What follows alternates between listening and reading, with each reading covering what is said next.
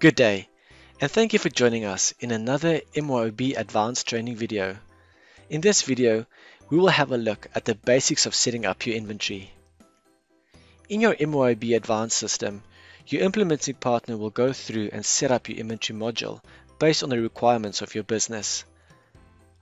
On your inventory preferences form, found under inventory in the full menu, allows defaults for managing inventory such as numbering, general ledger posting, and data entry settings. Please note, you should only make changes to any settings under the Configuration tab after talking to your business partner. Next, we will look at item classes. Each inventory item is linked to an item class. This allows simplified order entry and the grouping of items on reports. The item class also defines values for calculating the cost and availability of inventory items.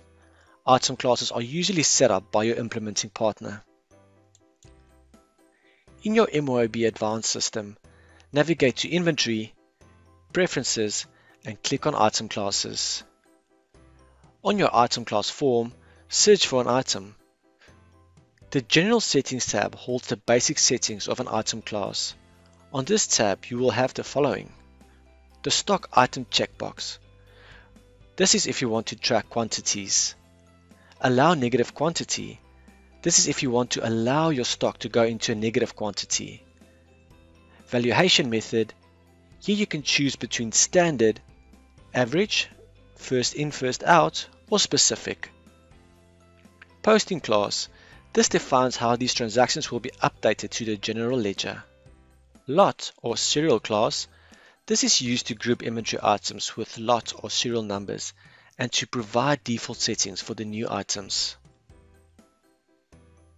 The availability calculation is where you set the rules for calculating the availability of stock items. Available quantity can be used for inventory planning and replenishment. Unlike the default settings listed above, the availability calculation settings are defined at item class level and cannot be changed. The unit of measure section is where you specify a unit of measure to be used as default for items. If the multiple units of measure feature is enabled, you can specify the unit of measure to be used as default sales and purchases. Also, you can define conversion rules for those units. This concludes our training video on the basics of setting up your inventory. Please let us know with your feedback and please join us again for more as we explore MYOB Advanced through our training videos. Thank you for watching.